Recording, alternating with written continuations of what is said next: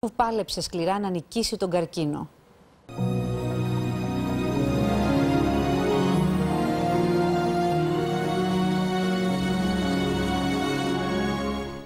Ήταν το 1986 όταν η μελαχρινή κούκλα Ρίκα Βαγιάννη σε ηλικία μόλις 24 ετών ξελόγιαζε τον Πάνο Μιχαλόπουλο στο κατάστρωμα ενός πλοίου για τις ανάγκες μιας από τις καλτ ταινίες της εποχής.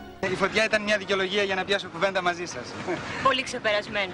Και έπειτα εσείς δεν χρειάζεται δικαιολογίες για να πιάσετε κουβέντα κύριε Βοδοσάκη.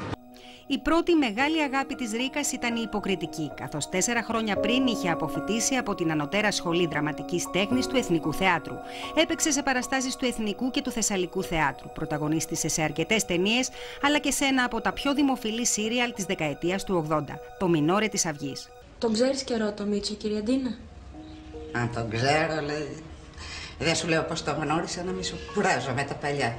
Είχε μια εκπομπή, είχα πάει, με έχει καλέσει τόσες φορές. Είναι κρίμα να φύγει τόσο νέα. Α, δεν το πιστεύω. Ήταν ένα εκπληκτικό πλάσμα και αξιοπρεπέστατη δημοσιογράφος. Έκανα πολλή δουλειά μαζί της, κάναμε ταινία, κάναμε εκπομπές. Έξυπνες, διεισδυτικές, επιθετικές, δυναμικές, κουκλάρες. Παράλληλα ακολουθούσε πιστά έναν ακόμη μεγάλο της έρωτα, τη δημοσιογραφία.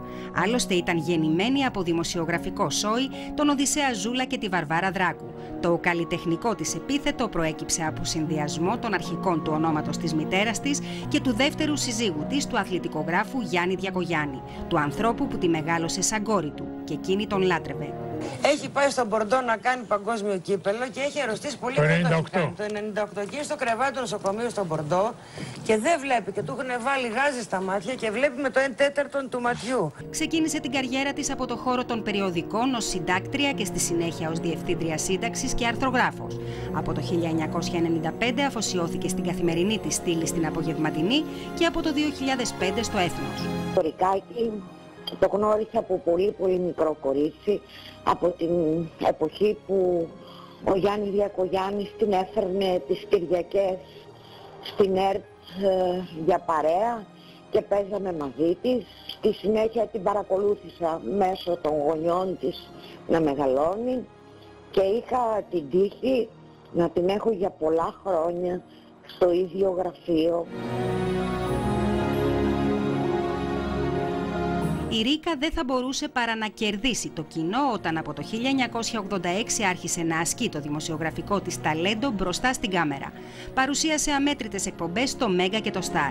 Ο Φακός άλλωστε αγαπούσε πολύ τα μεγάλα εκφραστικά της μάτια, το μυαλό, τον αυθορμητισμό, τη γλυκιά της παρουσία και το χιούμορ της. Είμαι εξοικειωμένη με τις ε, ε, φαρμακευτικές ιδιότητες της βοτουλητικής ε, νευροτοξίνης.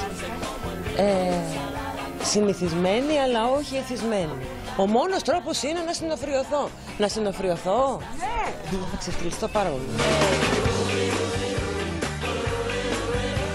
Από το 1997 άρχισε τη συνεργασία της με την ΕΡΤ, στην οποία παρέμεινε μέχρι το 2012. Μια καριέρα, ένα σπίτι και ένα μικρό παιδάκι. Ναι. Όλα αυτά τα όμορφα, ευχάριστα, καθημερινά πράγματα είναι απλώς ένα, βουνό. βουνό.